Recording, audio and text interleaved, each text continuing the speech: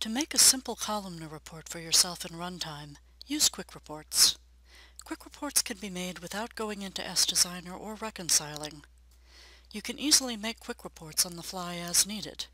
If you want to keep one, you can save it as a spec, just as you might do with an often used retrieve spec or sort spec. To make a quick report, retrieve and sort the records you want on your report.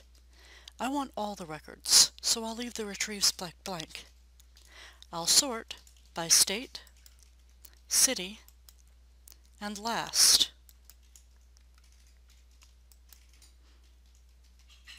In the spec window, switch to the Quick Report spec by right-clicking the action bar. Click the button in the S column for each value you want on the Quick Report in the order you want them to appear. I want state, city, last, first, and credit limit. Run the quick report by clicking the action bar and choosing Run.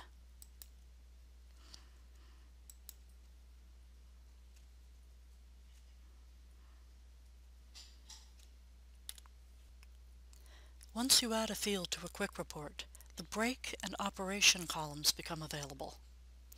Setting a break tells Sesame to group records together. If we set a break on state, then when the quick report prints, there will be a blank line between groups of records with the same state value.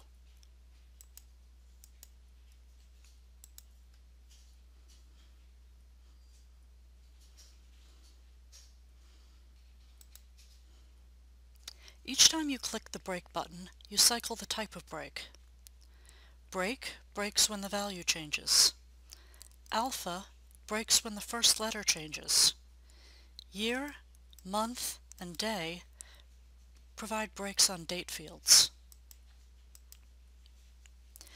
When a quick report breaks, it also checks to see if it should print a summary for that break, like a count or total. Each time you click the Operation button, you cycle the type of summary. The available types are sum, average, count, high, low, median, deviation, and variance.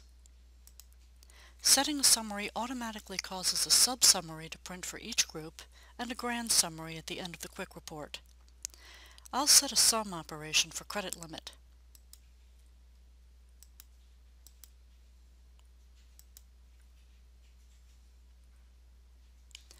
Note the subtotal for each state